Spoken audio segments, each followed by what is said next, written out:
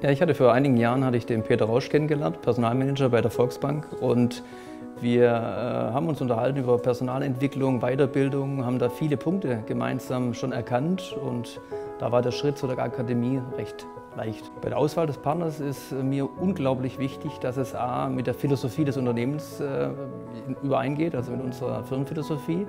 Das Zweite natürlich, dass wir einen Referent haben, der gut drauf ist, der Freude vermitteln kann, und natürlich die Inhalte, wobei mir der Referent fast noch wichtiger ist als der Inhalt. Die Zusammenarbeit war sehr, sehr angenehm. Es hat also sehr, sehr viel Freude gemacht und Spaß äh, gemacht und war eine gute Sache.